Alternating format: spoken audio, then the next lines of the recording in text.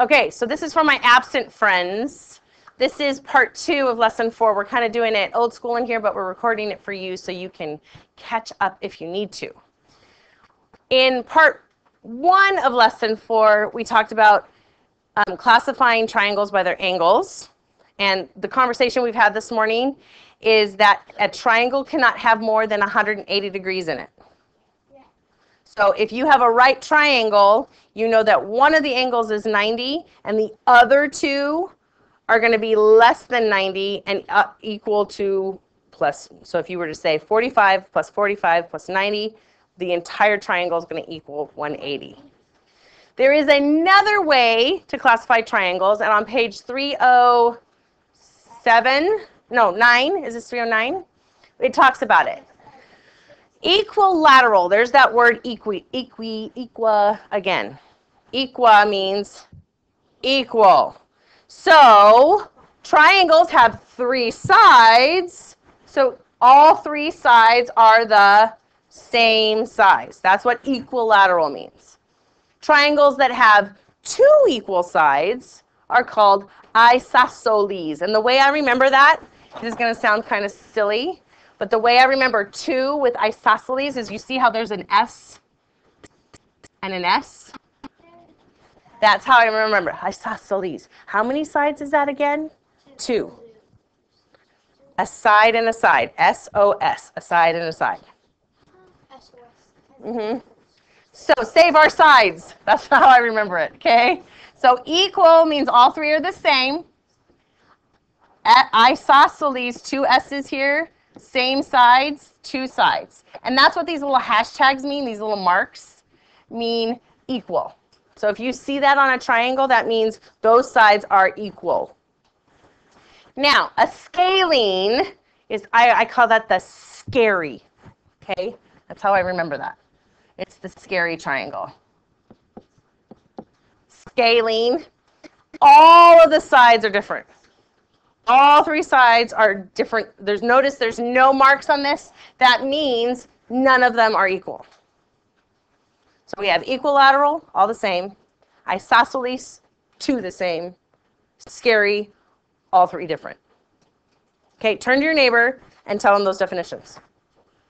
I heard you. Great definitions. So we're going to use these triangles up here to answer 17, 18, and 19. Um, write the letter names of the scalene triangles. So we're going to name the triangle that has the scary one. None of them are the same. So which ones do you think those are? Okay, I heard them. Triangle. Please write these with me. DEF and triangle TSU. And you can say STU, you can say FED, it could be any of those combinations of those letters. But the symbol for triangle is an actual triangle. Really easy to remember. Okay, now try to do 18. Equilateral. All the same. I already heard you do starting the isosceles or the same side. Good job. So for 18, the letter names of the equilateral triangles, or the ones that have all three sides the same, are triangle ABC and triangle PQR. And then equilateral, or the isosceles, same size, are, I heard you already, H, G, I, or IGH, whatever you want, however you want to say it, and triangle JKL. So the big thing here is knowing that there's another way to classify triangles.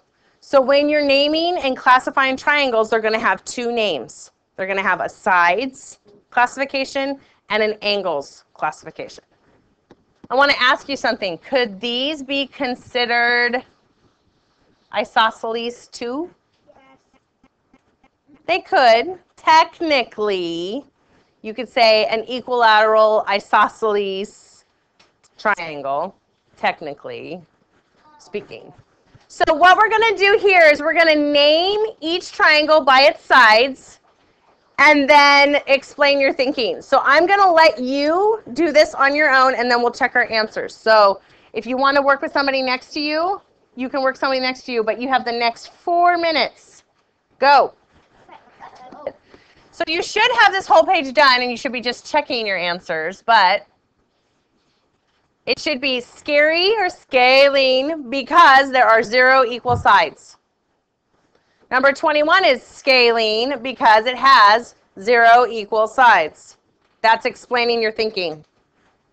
Isosceles ha has two equal S-O-S. Okay, and it's an isosceles because there's two equal. All right, keep going.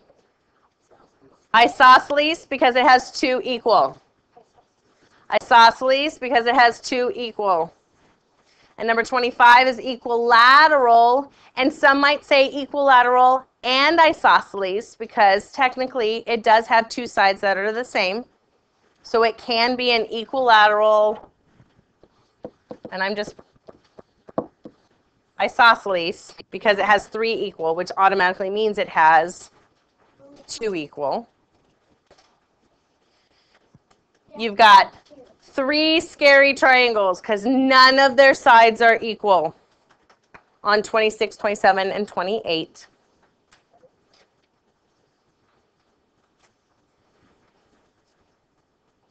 Twenty-nine can be considered an equilateral isosceles because it has three sides, which automatically means that two sides are the same. Thirty is scary. None of them are the same, scalene.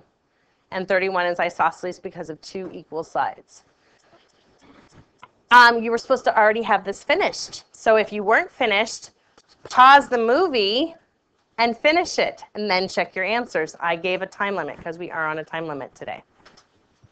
All right.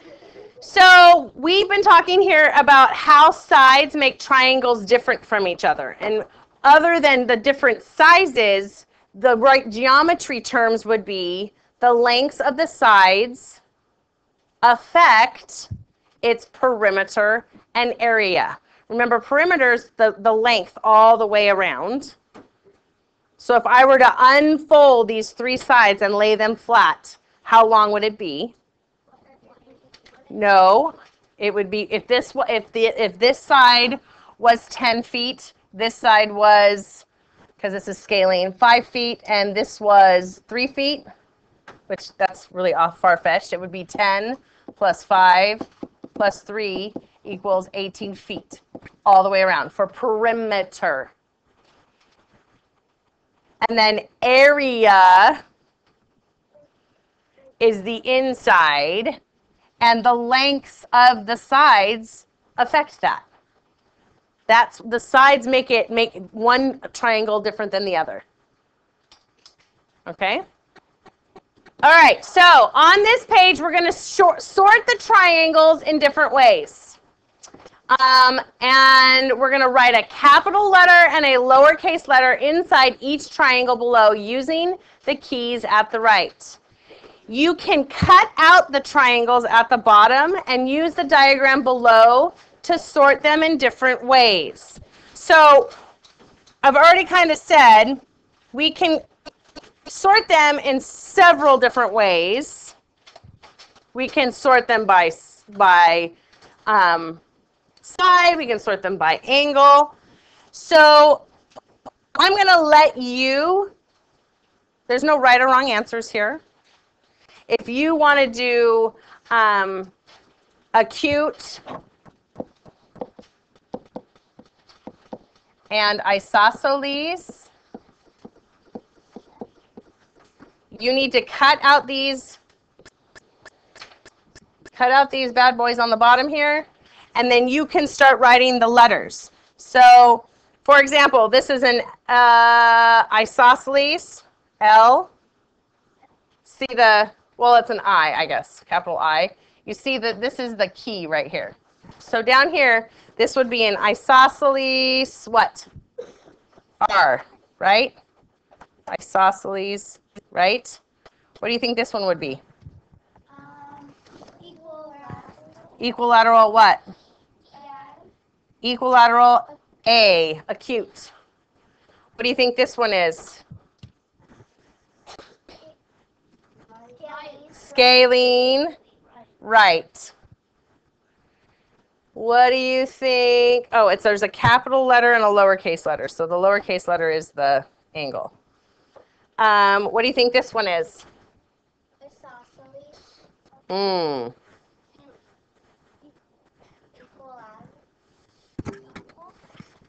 I think these two sides are the same. So isosceles, what? Obtuse. What do you think about this one? This one's a little long right here, I feel like. So I would say scalene, right? No, because that's not a perfectly right one. So maybe scalene obtuse, because I feel like this is just a little bit bigger than 90 degrees. What about this one? Scalene acute. This is definitely a Isosceles.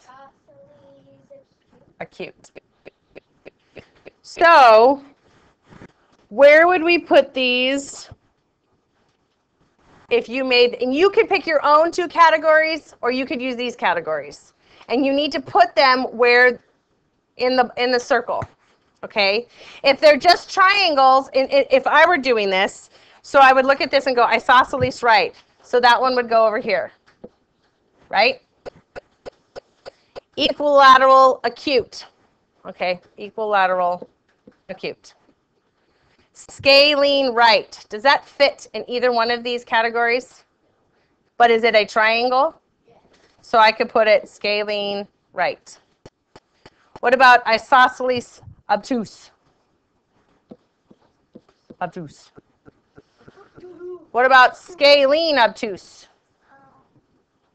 Uh, that's out. Right? Scalene obtuse.